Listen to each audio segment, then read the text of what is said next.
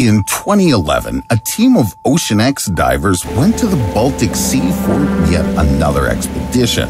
They planned to find valuable historical artifacts, or at least elite alcohol from long sunk ships, and didn't even know that they would stumble upon something much more important. When the treasure hunters turned on the sonar at a depth of 87 meters, they found a strange, quite large rounded object smooth edges, elements of ideal geometric shape, and right angles, which nature could hardly create, are clearly visible on the stone disk. The media started calling it the Millennium Falcon because its shape resembles a spaceship from Star Wars. So, did divers find a sunken alien spaceship at the bottom of the Baltic Sea?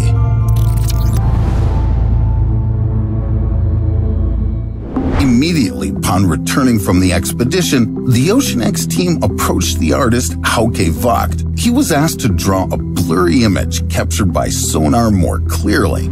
To date, this illustration is considered the closest to reality. Looks exciting, even though the drawing doesn't convey how big the found object is. But if you compare its size with a human, you'll see that this thing is simply gigantic.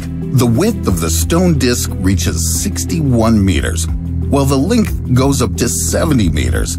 It's like three tennis courts. Looking closely, the stone block seems to be decorated with elements resembling ramps and stairs. Some angles of the structure are right and clearly equal to 90 degrees. The object has surprisingly regular geometric shapes that couldn't be created by chance, right? But many scientists disagree with this. In their opinion, the picture of the anomaly found by the Ocean X team was of poor quality. Skeptics explain the resemblance to UFOs by the fact that in cases where we can't see a clear picture, the human imagination likes to draw something that doesn't exist and never has.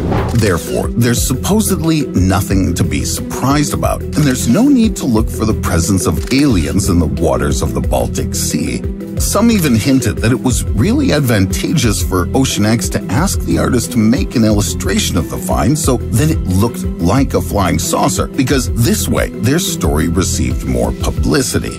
This pissed off the OceanX employees because they didn't voice any assumptions regarding the origin of the anomaly but simply wanted to reliably show their find to the public, and doubting the quality of their technical equipment is merely stupid. Ocean X has at its disposal the 56 meter research vessel Ocean MV Alucia, equipped with various professional cameras and even a helipad. It was they who first captured the giant sea squid, studied karst funnels, and also retrieved the wreckage of a passenger plane from the bottom of the Atlantic Ocean called the Airbus A330, which crashed in 2009. The company team decided to show scientists that Ocean X employees are the same researchers who will do everything for the truth's sake. Therefore, a year later, they went to the Baltic Sea yet again. This time, the team was better equipped and took a more powerful sonar while the divers plunged to the very bottom right to the mysterious object. Diver Stefan Hogeborn was very surprised when he first touched the anomaly with his hand. After all, as soon as he cleared the silt, the surface turned out to be absolutely black. And to the touch, it seemed artificial and smooth like concrete. The team took new pictures. Divers broke off a small sample from the anomaly and then found strangely scattered charred stones near it. A rock ledge split into two perfectly even parts and strange stripes on the seabed. If you look at all this from above, the picture appears as if this colossal object fell into the sea, crashed into the bottom, and left traces of breaking behind it. Ocean employees wanted to find at least something else to help them get closer to solving the mystery behind the Baltic anomaly and the new evidence. But according to them, within a radius of 200 meters around the stone disk, mysterious electrical interference suddenly began to disable the compasses, phones, and all the team's equipment. This ended their second expedition to the object. New images have allowed scientists to examine the right angles of the Baltic anomaly in detail, but they were still very skeptical. Archaeologist Goran Ekberg noted that the findings really look like the object was made either by humans or by a more advanced extraterrestrial civilization. Yet he added that this wasn't the first object in the world that looked artificial but was actually made by nature. In 2018, during the Icebridge mission, NASA experts also stumbled upon something of a geometrically correct shape, which they called the perfectly rectangular iceberg. At first, everyone was also puzzled over how it could come out so evenly. But they quickly found a scientific explanation. This perfect iceberg breaks off like a nail that grows too long and cracks in a perfectly straight line. This means that the Baltic anomaly must also follow the laws of logic. Besides, in nature, we generally have a lot of examples of geometric perfection. For example, snowflake patterns, plant leaves, and salt crystals. Now take a look at this regular hexagonal grid pattern that scientists have called the Paleodictyon. It was found on marine fossils around the world. Scientists still don't know what created such perfectly even honeycombs underwater. There are suggestions that it could be a small worm-like animal that can dig holes or something like a sea sponge that left an imprint of its body. 500 years ago, Leonardo da Vinci created a sketch terribly similar to the pattern found by scientists. The creature depicted next to it seems to give a hint that some kind of mollusk is associated with the honeycomb. Anyway, there are a lot of examples of how geometrically ideal objects can form at the bottom of the sea. Skeptics believe this shouldn't surprise the public and suggest that not everything perfect and inexplicable is necessarily the work of aliens' hands or tentacles or whatever it is they have. But what about all the other oddities of the Baltic anomaly? For example, the black stone chipped off from the object looks like it underwent high temperature treatment. There must also be some explanation for the mysterious traces of the fall. However, researchers from Stockholm University believe that the anomaly is a natural formation preserved since the Ice Age. According to their assumptions, a powerful glacier covered the territory of the Baltic Sea several thousand years ago. With the climate warming up, it began to melt. Clear lines turned out as the rock split, and accident-like traces at the bottom of the sea were in fact caused by the movement of the glacier. Having melted, the glacier laid the foundation for the formation of Baltic Sea, with unusual rock patterns at the bottom. The black rock sample turned out to be basalt, which is essentially ancient solidified magma. Therefore, the material looks like it was processed at high temperatures, that's all. This hypothesis' only drawback is that it doesn't explain why technology tends to go crazy in this area. You know, boulders are scattered all over the sea, yet strange malfunctions occur precisely near the Baltic anomaly. Since scientists can't explain all the oddities of the discovered mystery, even the craziest theories may turn out to be true. Those who believe that the Baltic anomaly is human-made have two hypotheses. According to the first one, the stone disk is still a flying saucer. The only difference is that it belonged not to extraterrestrial beings, but to the Third Reich. This version is actually based on a real historical fact. During the Second World War, the Nazis often conducted tests in the Baltic Sea. The anomaly may even turn out to be an entire Nazi bunker, which is impossible to get inside due to a well thought out defense system and a thick top layer of basalt. But if we succeeded, we would probably find the studies of various techniques aimed at disorienting enemy ships. Former Swedish naval officer and World War II expert Anders Autellus believes that the Baltic anomaly is indeed connected with the experiments of the Third Reich. However, it's not a base, but a platform base for a device. In fact, this is a bridgehead on the surface which devices were placed to block the movement of British and Russian submarines in the area. And today, this weapon, disguised as an underwater block, disables divers' equipment. There's just one inconsistency here. Scientists have found silt in the cracks of the study fragment, which, as it turned out, is over 10,000 years old. This means that the Baltic anomaly was created long before the Second World War. But for this period, the second hypothesis is ideal. Its supporters believe that the Baltic anomaly is a fragment of structures made by the ancient civilization of Hyperborea, like Atlantis, this city was lost many years ago, but according to a map of the Flemish geographer Gerardus Mercator, who lived in the 16th century, Hyperborea really existed approximately where the North Pole is now located. According to one of the most probable versions, the mainland disappeared after a giant asteroid fell to Earth about 11,000 years ago. Due to the fact that the impact occurred at an acute angle, Earth's axis deviated by as much as 15 degrees. This led to a giant tsunami. A colossal wave could have flooded Hyperborea and carried the fragments of its buildings towards the modern Baltic Sea. Still, there's a small gap in this smooth storyline. Atlantis and Hyperborea are considered mythical civilizations because their existence is confirmed only by references in ancient sources, which modern scientists don't really trust. Nonetheless, divers discovered another flooded city, the existence of which was proved, and it strongly resembles the Baltic anomaly. In 1985, Japanese diver Kihachiro Aratake sank to the bottom of the ocean off the small Japanese island of Yonaguni. Dropping only 5 meters, Kihachiro felt like he was in some kind of a parallel world. There was a real city around him with a castle, an arch, nearly five temples, a stadium-like building, a dance platform, a pool, as well as a rock in the shape of a turtle and even a pyramid. These underwater ruins occupied an area that would fit three American football fields. Besides, in the nearest underwater caves, stalactites were found, which apparently sank along with this mysterious city.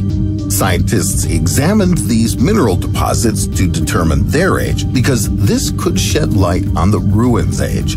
Thus, it turned out that the city was built at least 5,000 years ago. But Teruaki Ishii, a professor of geology, believes this stone structure is even much older. He determined that the submergence of the so-called terraces of the structure occurred at the end of the last ice age, which means about 10,000 years ago. In this case, the age of the Yonaguni Pyramid, and indeed all of the structures of the city, is twice as old as the Egyptian pyramids. This Japanese Atlantis has much in common with the Baltic anomaly because its structure also contains geometrically correct elements. Some protrusions of the Yonaguni design are cut in an absolutely right angle. It is suspicious that our distant ancestors could achieve such an effect without modern technology. And you won't believe it, but again, some skeptics began to argue that this construction, which looks like an ancient city, was also accidentally created by nature. As with the findings in the Baltic Sea, some scientists believe the perfectly right angles were created by normal tectonic movement. It was this interpretation that a mathematics professor Robert Schoch was sure of before meeting Kimura, who was the first to find the ruins at the bottom of the sea. The diver had many pictures that proved otherwise.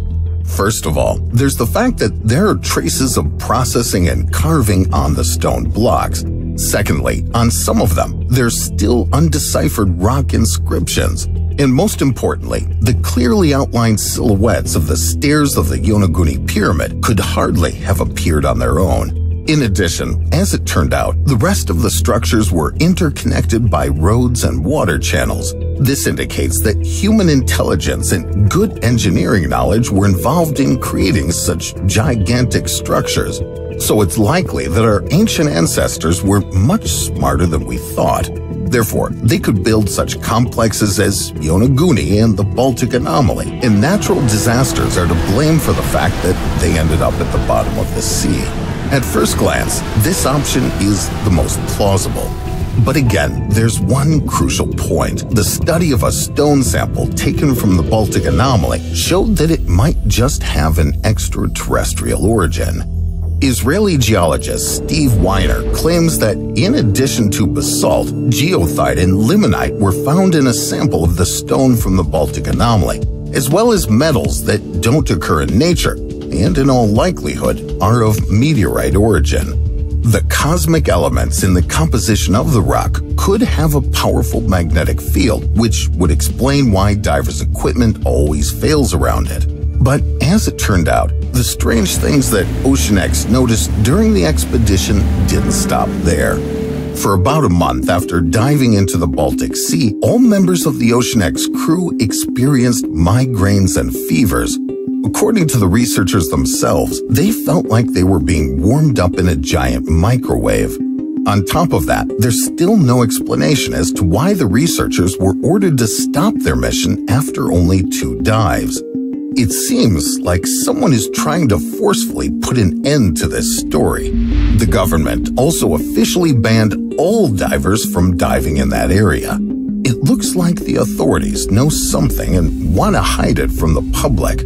It's unlikely they would make such a fuss over a simple natural formation, right? Moreover, there have been rumors that aliens have been equipping their secret underwater bases for observing people for quite a while. For example, David Fravor, an ex-US Navy fighter pilot, during a routine training flight over the Pacific Ocean in 2004, noticed a strange device in the air that hovered above the waves. It had a perfectly rounded shape and looked like a 12 meter long tic tac. Fravor claims that having noticed his fighter jet, the object began to behave aggressively. It abruptly changed altitude, disappeared, and moved very erratically. But most importantly, that giant tic tac blocked radar. That's how the Baltic anomaly acted with the equipment of divers. In that same Pacific Ocean, the crew of a Russian military submarine once noticed six unknown objects on the sonar moving at an incredible speed, over 425 kilometers per hour. And when the submarine urgently surfaced, the unknown objects incredibly quickly escaped from underwater and disappeared into the sky. It turns out that the underwater world is the most convenient place for a secret alien base because most of the ocean depths still remain unexplored. Even in the Baltic Sea, the anomaly isn't the first strange and unexplainable object associated with aliens. Not far from the probable alien base, there's the island of Gotland. Here, as many as 3,600 stones with various notches and even cuts were found. What's even stranger, scientists date them to around 3600 BC. As in the case of the Baltic Sea anomaly, geologists still cannot explain their origin. But it's not even as important as the purpose of the drawings on the stones. Studies show that perfectly even cuts on them are not parallel, but oriented in several directions, as if pointing to something. Goran Henriksson, a doctor of astronomy, believes that the stones depict celestial objects, he suggested that some marks on the stones indicate the location of the moon, others show the sun, and the rest probably have something to do with the planets, stars, and constellations. The one who created this series of drawings has preserved information about full moon periods as well as the summer and winter solstices. In fact, these stones are astronomical calendars, and the island itself could be a huge observatory. It's unlikely that our ancestors needed to understand the night sky in such detail because in those days, they could only do elementary crafts and agriculture. But an extraterrestrial civilization, which had its own secret base nearby, could use the information about the location of celestial bodies. While supporters of various theories are screaming about UFOs, Nazis, and natural wonders, scientists have drawn attention to another feature of the Baltic anomaly. On one of the stones, divers found a distinct silhouette of a triangle with a hole in the center, which was carved into the surface. What if this is some important clue or symbol that will help us to understand the true origin of the stone disk? What are your thoughts? Let me know in the comments.